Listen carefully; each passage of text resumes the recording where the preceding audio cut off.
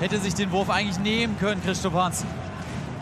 Passives Spiel angezeigt. Boah, was Wahnsinn Zuspiel von Balenciaga auf Moraes. Das ahnst du nicht.